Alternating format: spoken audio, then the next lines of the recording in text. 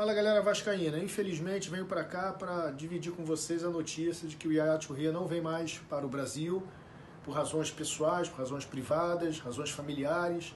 Ele não está confortável de vir para o Brasil, sua família também não. É, o tempo todo essa negociação, essas três semanas, esse foi o grande ponto, né, da gente tentar fazer com que ele se sentisse confortável, a família dele se sentisse confortável em mudar para o Brasil, para o Rio de Janeiro, mas infelizmente no final das contas, falou mais alto lá as questões pessoais da família dele e dessa forma, infelizmente, não podemos contar com ele para o ano que vem. Eu decidi não brigar por isso, não fazer valer quaisquer cláusulas do contrato, mas terminar numa boa, para que a gente mantenha as portas abertas para ele aí no futuro, para grandes outros craques. O nosso projeto do Vasco é muito maior do que qualquer jogador.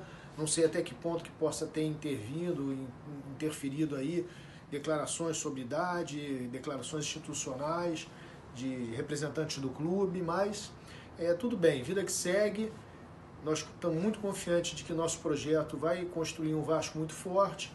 Contem conosco e vai dar Vasco. Hi, I want to thank Mr. Eleven to invite me on this wonderful project on the Vasco da Gama family. But unfortunately, I can't be able to be part of it anymore because of personal reason. I can't move to Brazil. Thank you for your understanding. And I wish all the best and success to Mr. Levin for his project.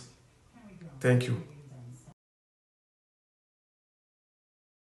Recado de Levenciano aos Vascaínos. Vascaínos, como sabem, assinamos acordo para trazer Yaya Touré para o nosso Vasco. Infelizmente, por razões pessoais, o Yaya não poderá estar conosco no próximo ano. Pretendo resolver com trabalho, dedicação e luta em constância vivida no nosso Vasco e também no nosso país. Continuarei a trabalhar, afincadamente, na construção de um Vasco forte e líder. Abraços, Leven.